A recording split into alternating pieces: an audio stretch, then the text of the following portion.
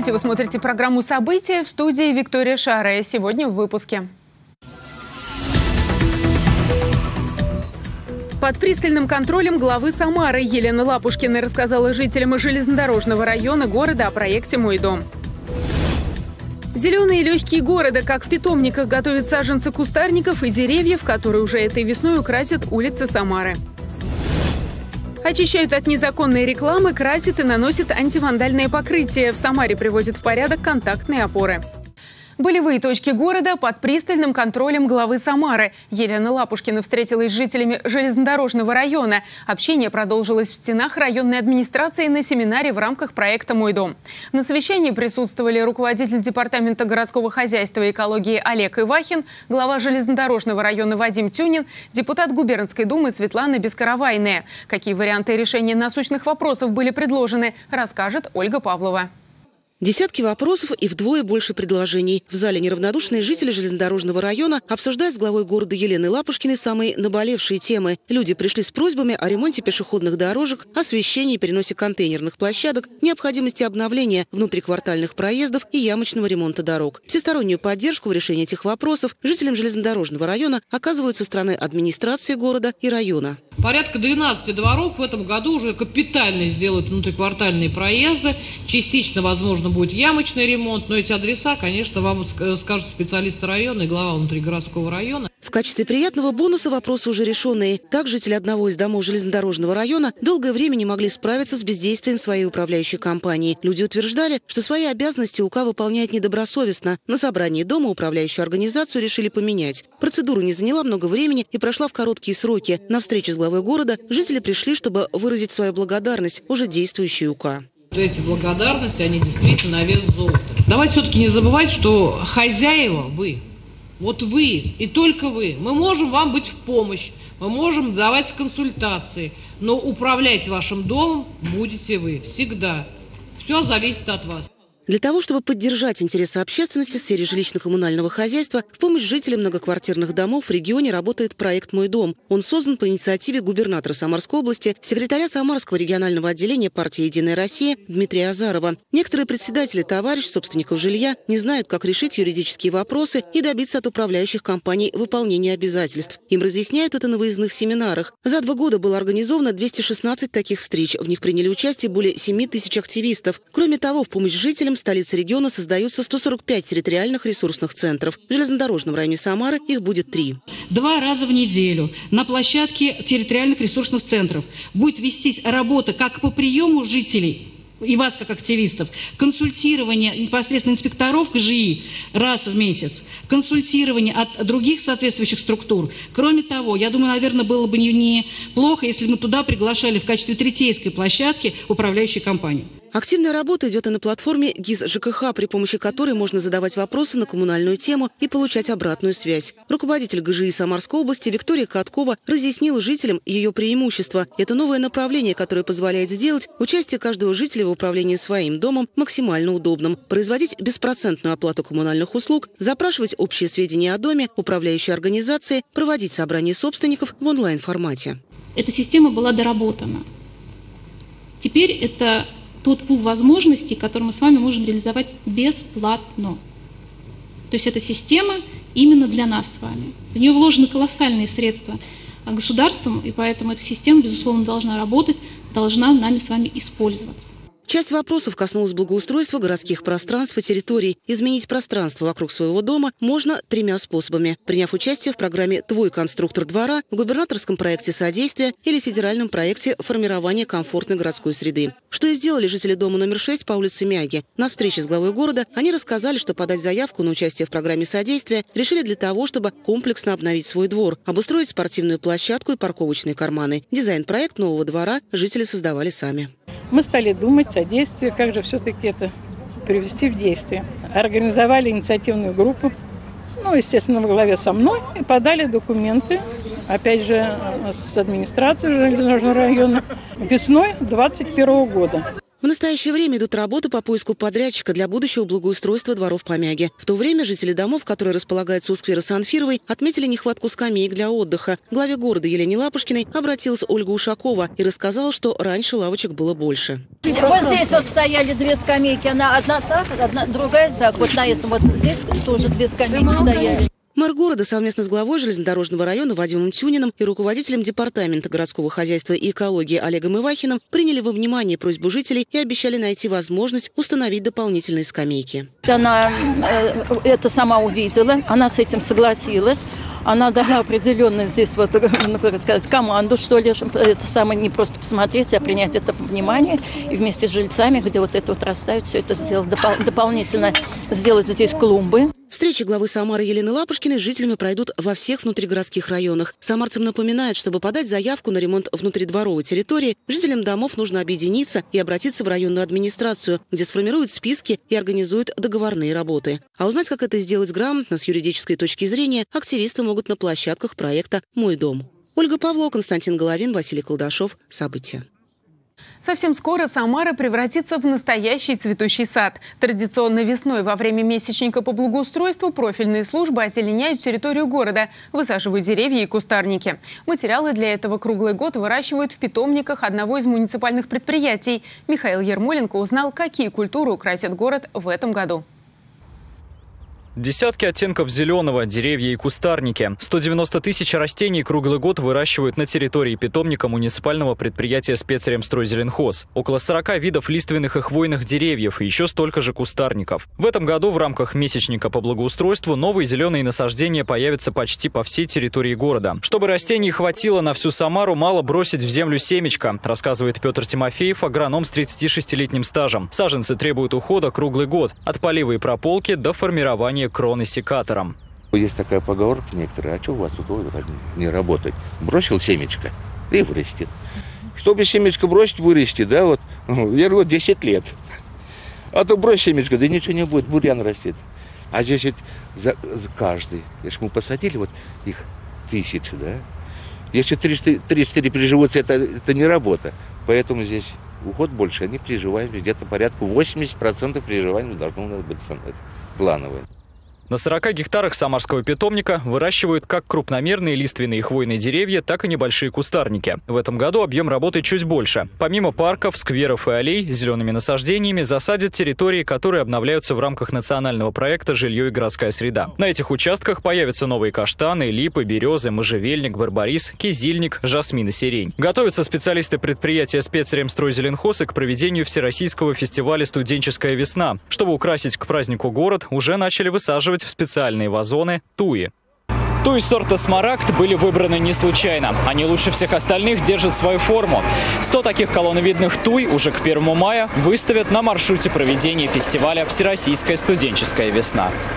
Эти хвойные растения высотой в 3,5 метра установят вдоль улично-дорожной сети в центре города. Уход за ними будет особенным. Помимо полива и подкормки, специалисты на протяжении всего сезона будут собирать с них семена, которые добавляют к зеленому цвету оттенки рыжего. Все для того, чтобы они как можно дольше радовали самарцев и гостей города своим видом. Михаил Ермоленко, Николай Епифанов. События. Провести время в приятной компании с пользой самарские студенты и общественники вышли на средник в сквер экономистов. Эта территория претендует на благоустройство по программе формирования комфортной городской среды в следующем году. Как сквер приводит в порядок летнему сезону, расскажут наши корреспонденты. На уборку, как на праздник, под музыку из полевой кухни студенты вышли на средник в сквер экономистов в Советском районе города. Светлана Улаева учится в Самарском государственном экономическом университете. Рассказывает, что с однокурсниками часто бывает в сквере, но в этот раз в качестве волонтера наводит порядок после зимы. Он очень дорог, наверное, нашим студентам, потому что многие проводят здесь время, э, там, возможно, на переменах или в внеучебное время. Поэтому мне очень нравится, что многие студенты сегодня вышли и помогают городу, району. Районная администрация обеспечила участников средника необходимым инвентарем. Вместе с волонтерами студентами убирают территорию сотрудники службы благоустройства. Присоединиться могут и неравнодушные жители города. Весна всегда период такой времени, когда у нас много после зимы остается мусора всякого, и листва осенние и прочее. Нужно навести порядок в городе как выходишь утром из дома, увидел, трава растет, цветы цветут, деревья, все чистенько, мусора нет. И душа радуется. И на работу идешь с праздником, и на работе все получается. Сквер экономистов находится в границах улиц Советской армии Блюхера. Рядом пятиэтажные дома и два вуза, поэтому место для прогулок популярное. Университетское сообщество старается задавать тренд на поддержание порядка. Это не просто приучение к труду, это а, воспитание такой а, социально активной позиции, что а, порядок в нашем городе может быть обеспечен только нашими собственными усилиями. Сквер экономистов претендует на благоустройство в следующем году, и именно жители города могут определить, какое общественное пространство приведут в порядок в рамках реализации федерального проекта формирования комфортной городской среды» нацпроекта «Жилье и городская среда». Проголосовать за любую понравившуюся территорию можно до 30 мая на платформе 63.городсреда.ру через госуслуги, а также с помощью волонтеров. Светлана Кудрявцева, Константин Головин. События. Водные процедуры для самарских дорог. Во второй декаде месячника по благоустройству в городе традиционно начинают влажную уборку улиц. Подрядные организации ежедневно выходят подметать и мыть дороги. Поливомоечная техника распределена по всей территории города. На балансе подрядных организаций таких спецмашин около 70. В распоряжении участка муниципального предприятия, который занимается содержанием Ленинского района, 4 машины. В каждом районе работают. То есть это улица Фрунзе, Красноармейская, Вилоновская, Самарская. То есть все, что касаемо Ленского района, каждый день производится уборка улично-дорожной сети. Идет поливалка, за следом идут пылесос, все это собирается, вывозится, а пыль, грязь. У каждой машины свой маршрут движения. Работа бригад с использованием такой техники выстроена продуктивно. Примерно за одну ночную смену бригада Ленинского района тратит от 240 до 280 кубов воды. Влажная уборка на улично-дорожной сети города будет производиться до первых холодов.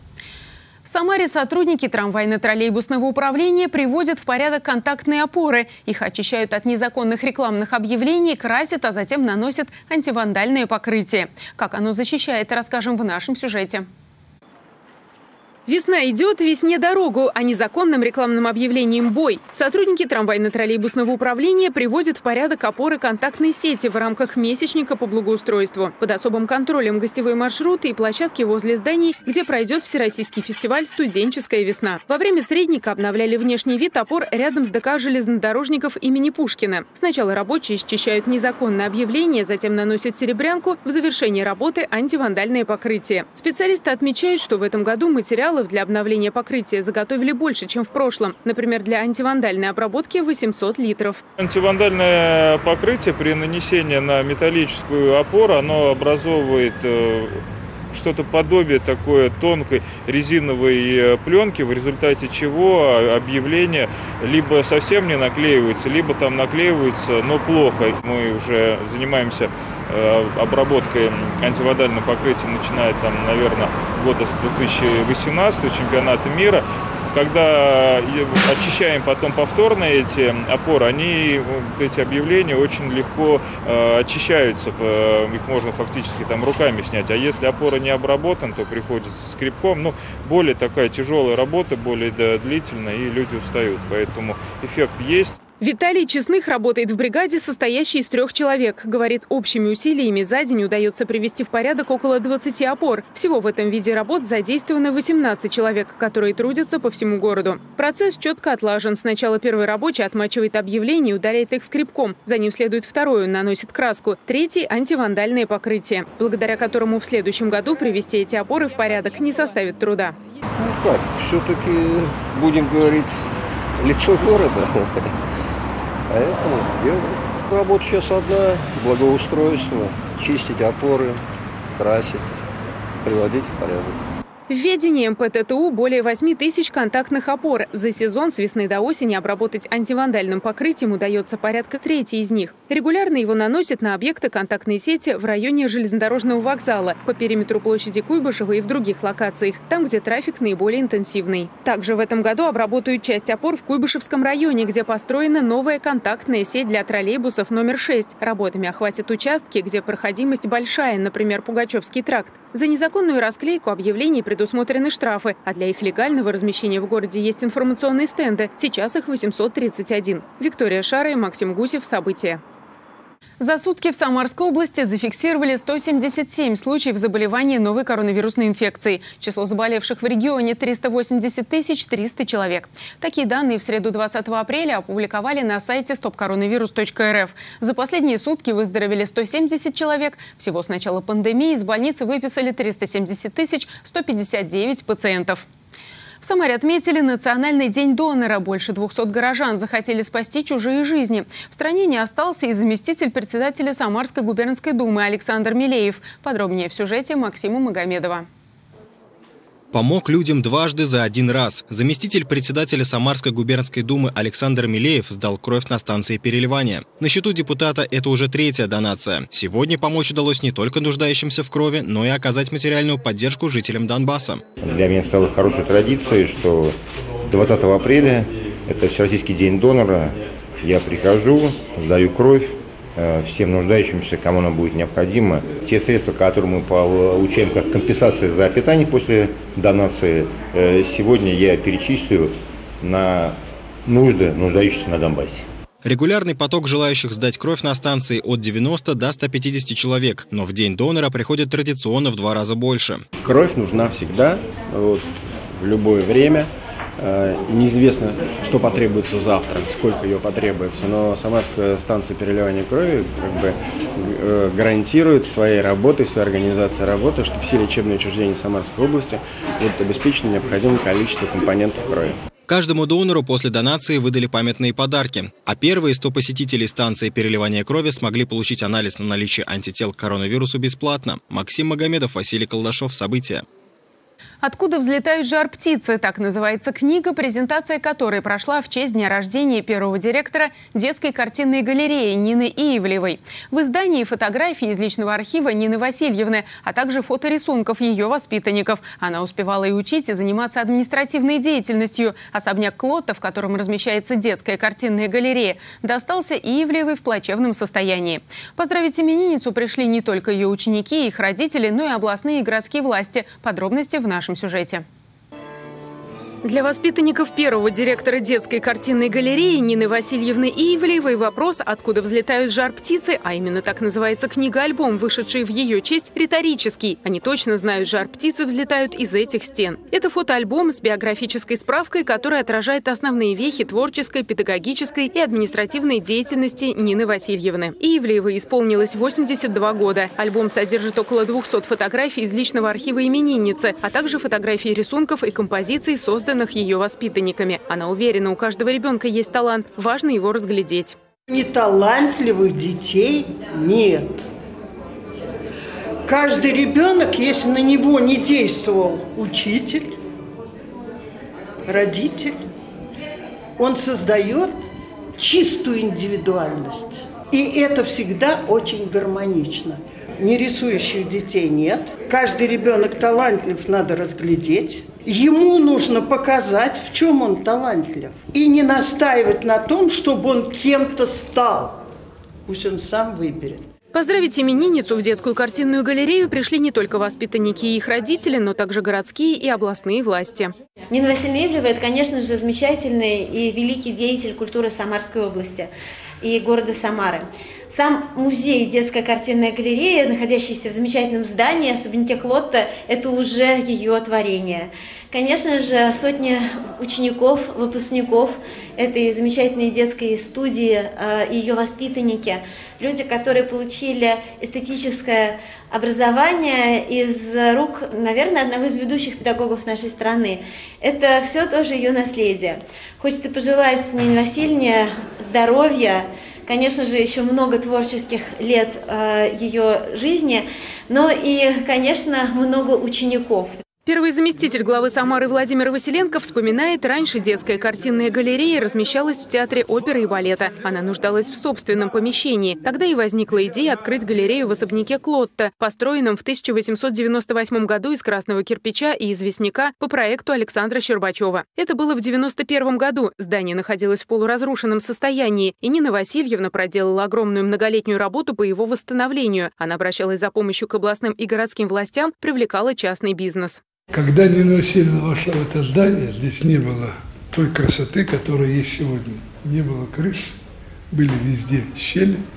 В данной ситуации был полный разруха. И вот Нина Васильевна из этой разрухи сделана храм Божий, я бы сказал, культуры, картины галереи, когда дети идут сюда с удовольствием. Имя а, вот Ивлевой а, в стенах культуры и в стенах, а, вот будем говорить, энтузиаста своего дела, оно вписано в летопись города Самары и Самарской области. Для слепых, слабовидящих и слабослышащих детей в рамках городской программы «Самары детям мы разные, мы равные» были созданы коллекции рельефов «Древний мир» и «Средневековье». Каждый рельеф сопровождается аудиокомментарием. За годы работы детской картинной галереи из ее стен вышли более трех тысяч выпускников. В фондах хранятся тысячи детских рисунков со всего мира, работы профессиональных художников, коллекция авторских кукол. Виктория Шара и Николай Епифанов. События.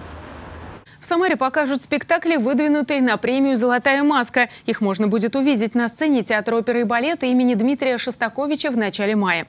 Так, 3 мая запланирован вечер одноактных балетов Театра «Урал-опера-балет» из Екатеринбурга. Это постановки «Неаполь» на музыку Хольгера, Симона Паули и Эдварда Хельстеда, «Брамс Пати» на музыку Иоганнеса Брамса и вариации Сальери на музыку Антонио Сальери. 6 мая самарцам покажут драматические спектакли Российского академического молодежного театра «Сын», Флориана Зеллера. Постановка номинирована на премию «Золотая маска-22 года». Она расскажет о том, как решение отца создать другую семью влияет на жизнь сына-подростка.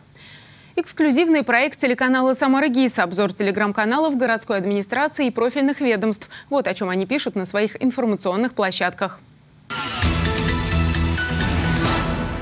Второй год во время голосования за благоустройство территорий по проекту формирования комфортной городской среды проходит встреча со школьниками. Им рассказывают о ходе обновления парков и скверов, о тех проектах, которые выставлены на голосование. Проголосовать могут все самарцы, начиная с 14 лет. Надо лишь завести личный кабинет на госуслугах. Спикерами на таких краеведческих уроках выступают главы районов и депутаты, а со следующей недели ряд таких встреч проведет и глава Самары Елена Лапушкина. Об этом в своем телеграм-канале сообщает руководитель руководитель пресс-службы мэрии Самары Елена Рыжкова.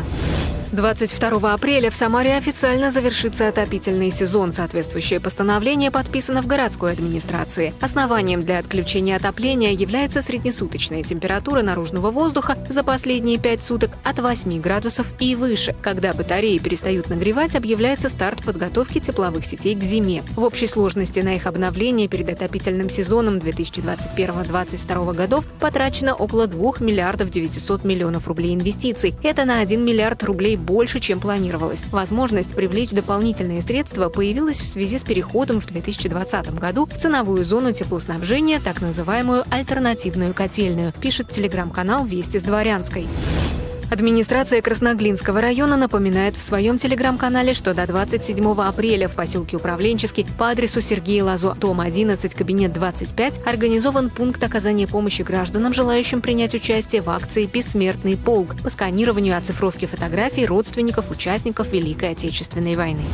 «Сдай макулатуру, спаси дерево». Администрация Ленинского района рассказывает о всероссийском экологическом марафоне. Он построен на соревновательном принципе. Муниципальные образования передают друг другу эстафету сбора макулатуры, борются за максимально высокое место в зеленой рейтинговой таблице области, выявляя самых активных граждан, достойных звания эко-героя. Победители акции награждаются ценными призами. А наш телеграм-канал «Самара ГИС» сообщает, что запускает новый проект «Российская студвесна. Возвращение к истокам». Самара – город ярких людей, смелых творческих экспериментов, родина Всероссийской студенческой весны. 30 лет назад именно на берегах Волги фестиваль объединил молодежь всей страны и стал культовым. Знакомство зрителей с людьми, ставшими участниками и идейными вдохновителями фестиваля, телеканал начинает 22 апреля. На этом наш выпуск завершен. Продолжайте читать наши новости на официальном сайте Самара ГИС, на страничках в Одноклассниках и во Вконтакте. А выпуски новостей смотрите на платформе Рутюб. Всего вам доброго и до встречи!